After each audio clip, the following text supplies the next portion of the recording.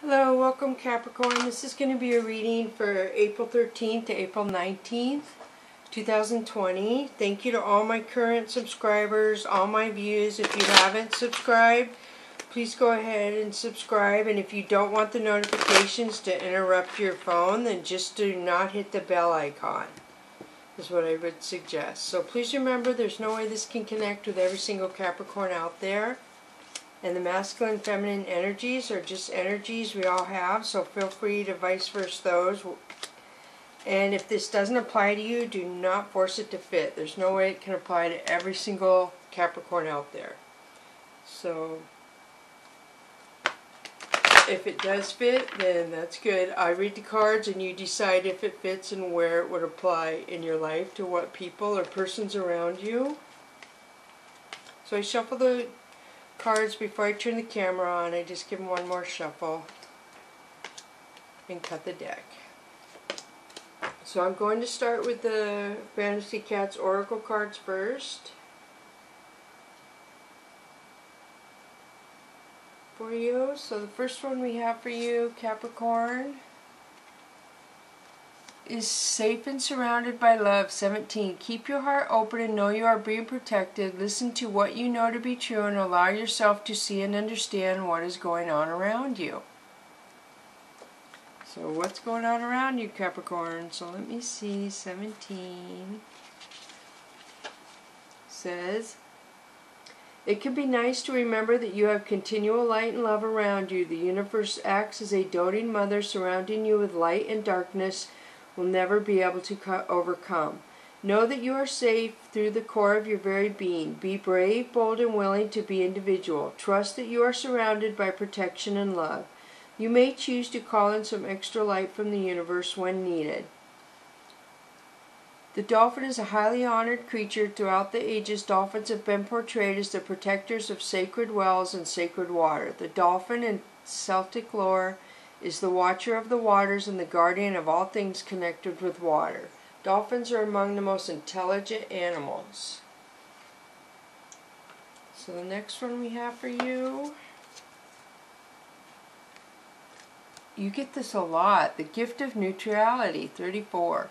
Balance is at work in your life. Yin and yang are opposites in energy but reside side by side to create the gift of neutrality. Neutrality.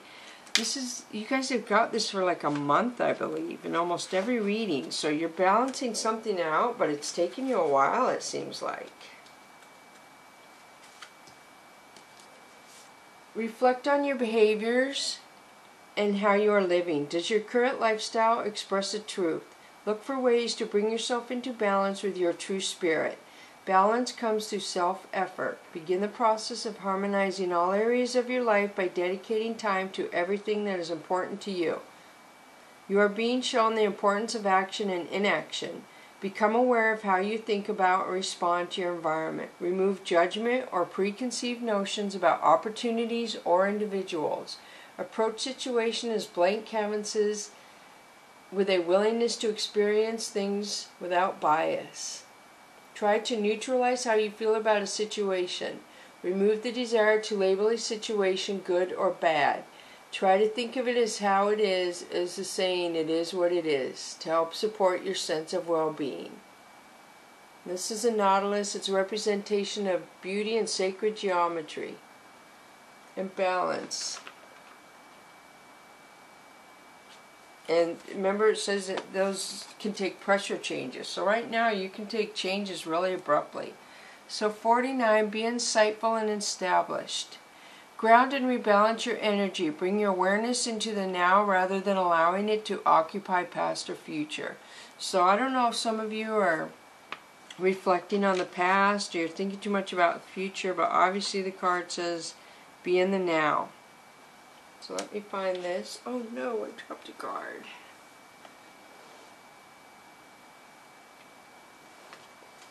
Okay, 49. It's close, so close. Okay, here it is. This is a pretty card too. Certain things can happen when you are ungrounded. You may find you make mistakes or miss important opportunities. It is imperative that you ground yourself. You can do this by making time for meditation, tuning into your physical needs, taking a deep breath, or getting out to nature. So ground yourself, be insightful and established. Okay, we're going to switch to the Mystical Cats Tarot deck now. And you have the Floating Cat. So this is you trying to make a decision. You're up in the air about something. And this is usually my yes card if that helps, Capricorn. But this is you contemplating something that confuses you. You don't know which way to go. This is representative of Aquarius in the regular tarot, but to me it is Leo. So this could be a cusper because it changes from Aquarius to Capricorn, so that's what this could signify. Then you have the tower. So the tower happens when something has to change. The universe will make something fall apart if it's not for our highest good. So something is going to fall apart in your life and just Try to go with it. Try to ground yourself, is what that said. You have the gift of balance. You're safe and surrounded. So, safe and surrounded, balance, and grounded for what's coming. Oh, Four of Sea. So this says that you are depressed. You're not noticing the good things around you. You're stuck in a negative vibration to where you're depressed. So try to come out of that. Don't stay in it too long, Capricorn. It's harder to get out the longer you stay. So Nine of Sky, this is you really stressed out. You can't sleep. You could be having nightmares. You're very, very stressed. And this is Ten of Earth. This is my abundance card. So either you're helping somebody or somebody's helping you. This is my generosity card to where somebody helps somebody. And the next one is lovers. This is beautiful. This could represent a Gemini in your birth placement or around you. The cats are laying on a purple blanket, which would be healing from love, and then the flowers represent passion to me. So I don't know if you're healing from a past love and you're moving into a more passionate love cycle. Sky Kitten. So Sky Kitten is a couple things. This could be something new coming into your life, or this could be immaturity. So I don't know if you're acting immature, if somebody around you is acting immature. It's almost like it could be a annoying immature, where somebody is is making you unbalanced, basically. So this is a chariot. Capricorn, this is your life going in a new direction. Something is coming in and it's going to cause you to go in a new direction in your life. Oh, what am I doing? I did the wrong one, sorry. I'll pull that one a little bit. So this is Sky Queen. This is somebody watching you. And they don't say very much. They just watch you. Ten of Sea, this is my vacation card or my family card. So you're either going to be traveling to be around family or traveling to take a vacation. What that implies. Sky Tom. So this says that somebody is going to be really rude to you, really condescending, really not nice. This is Earth King. This is my heaven card, Capricorn. So this is somebody in heaven acknowledging and wanting you to know they're around you, which it says surrounded by love. So I really feel like this is somebody from heavens coming out saying they're they're with you, they're by you. And it said dolphins are really intelligent. So you're surrounded by love. Somebody who's in heaven is acknowledging in this reading that they're around you. So of earth to me is a skill or a behavior that you're teaching somebody else. So you have to decide, is this a good skill? Is it a bad behavior? What are you teaching somebody else? Or a bunch of other people are picking up your skill. Two of Sky is you trying to make a decision about something. You're not sure which way to go. And this is something from a while ago. The flags are torn, the moon looks far away. It's something maybe you didn't deal with a few years ago, or you're not sure what direction to move into, or you want to go back to something. This is the moon card, which could represent a Pisces in your birth placement, or around you, but this usually means a secret is going to be revealed, somebody's dark side is going to be revealed, something is going to come out in the open.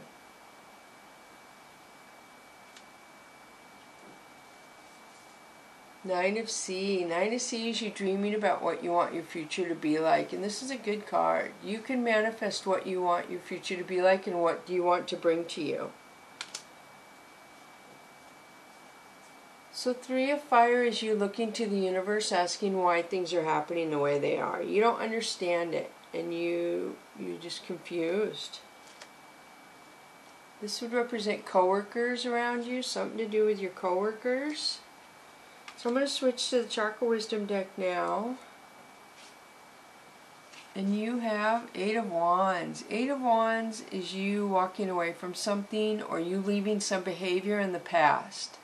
So figure out how that would apply to you. Are you walking away from something or are you leaving a behavior? So this has to do with security. So I don't know if some of you feel secure or you're working on making yourself secure or you know what's going to make you feel grounded, but that would go with this grounded one. If you're grounded, you'll be secure in your thinking process. Queen of Wands. So Queen of Wands is somebody who has intuition and she knows her self-worth and she has opportunity. She's very clear with her communication, her thinking, and she's very strict on who she lets around her and by her. She doesn't just let anybody. She knows her self-worth. So this is Two of Swords. There's confusion. I feel like you have fear about something. Is it the Queen of Wands that you have a fear about? Are you this is fear. So the chariot, this is your going in a new direction. Something coming, and I think you had the chariot here. So you've had the chariot twice. Something to do with your identity Your life is taking a new direction, Capricorn. Six of Swords. So Six of Swords is you moving away from something from the past. There's intuition where you're ending something. It's something that wasn't beneficial to you. Somebody, I feel like you haven't talked to somebody or separated from them for a while and you're moving away from it.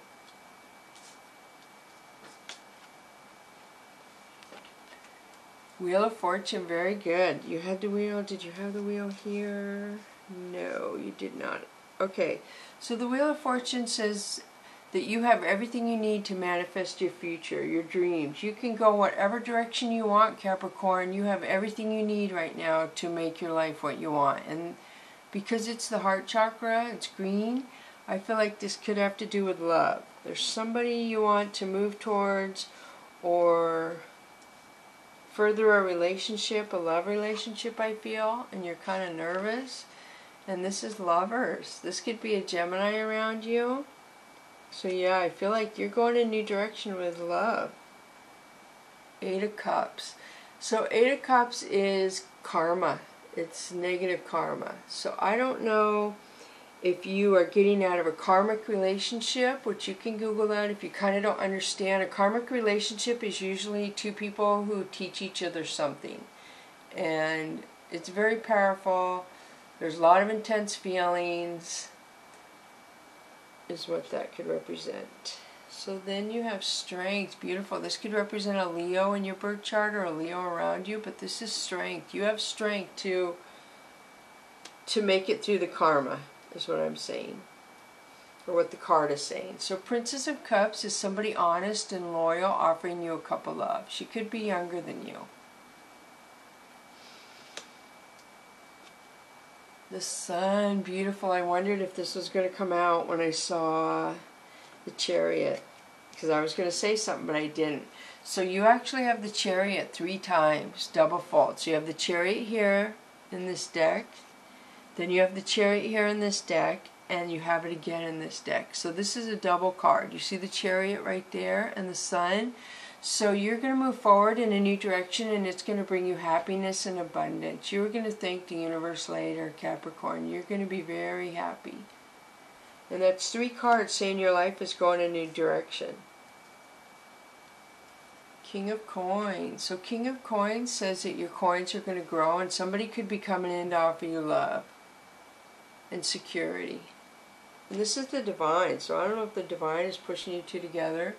This is justice, which could represent a Libra in your birth chart or around you, but this is balance. Something is going to balance out. That's beautiful. So it looks like your coins are going to balance out, your love life is going to balance out. Ace of Swords. This is somebody spying on you or you spying on somebody. An Ace of Swords usually means that you may be cutting something out. So something in your life you may not want to carry forward. So you may have to cut something out. I'm getting to move forward in your new life. So Eight of Coins. This is you trying to make a decision about your life. It could have to do with love, could have to do with a job, could have to do with money. But you're trying really hard to figure that out, it looks like. Tower. So tower moment happens when something needs a change. When the universe feels like something isn't a strong foundation, they'll make it fall apart so we can either rebuild it or move on to a different foundation. Two of Wands. Two of Wands is opportunities coming towards you. And you may have to make a decision concerning yourself and somebody else, and you will make the right decision. And that's a lot of feelings, something with a lot of feelings. So the moon, you've had this twice too. So one's a throat chakra. The moon is when things have to balance out, yin and yang. And you've had that twice. So I don't know if a secret is getting revealed, somebody's coming forth with information about why something went the way it did, but that is intuition, balance. Ten of Wands, this is happiness, beautiful. This is happiness and abundance. Moving into a happy life, and I feel like you have a big opportunity around that. So, okay, this is temperance. Temperance is balance, things going slow, things going when they're supposed to. And this is the divine guiding you. And then you have the fool. The fool is my precursor to love. You're just going on about your business and then love comes in. So five of cups is regret and loneliness. You regret somebody from your past. You're focusing on it, thinking about it. It could be, yeah, you're just thinking about somebody from the past. You're having some regrets, it seems like. Alright, now I'm going to pull the Soul's Journey lesson cards for you. Capricorn, you have growth. I want to expand my consciousness and my awareness. Let me find this.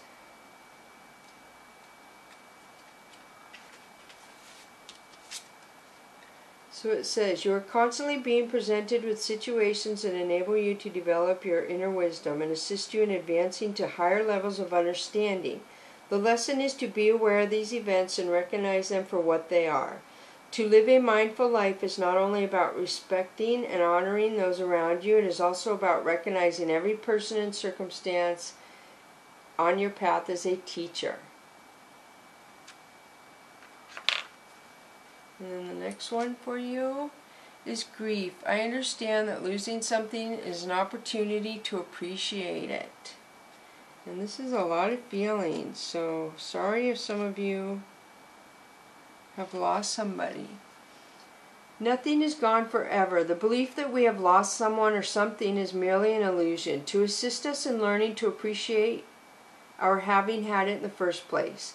The emotion of grief and the sense of loss are absolutely real, but that is the point.